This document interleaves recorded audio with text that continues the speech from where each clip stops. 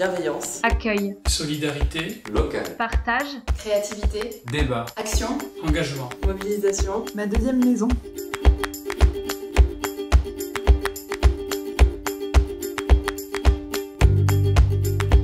Parce qu'aujourd'hui, avec le deuxième confinement, euh, on n'a plus du tout de recettes et qu'on a quand même des charges à payer.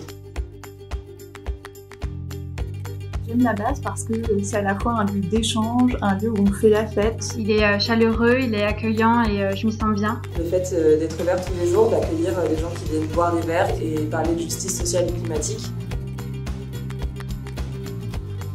C'est un centre d'information et de formation. Euh, lieu de partage de connaissances, de partage d'expériences. Une communauté engagée et à l'écoute. C'est un lieu qui est ancré dans le territoire et qui donne la possibilité aux gens de s'engager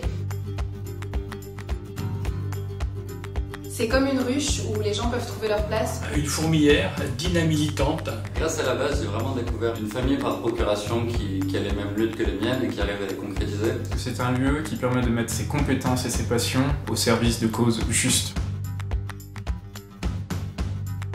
Faire un don à la base, c'est un acte militant qui a la chance d'être défiscalisé. C'est euh, aider euh, un lieu solidaire qui accueille et qui aide les personnes les plus touchées par la crise sanitaire. C'est faire en sorte que ce lieu continue à exister parce qu'aujourd'hui on est menacé de fermeture.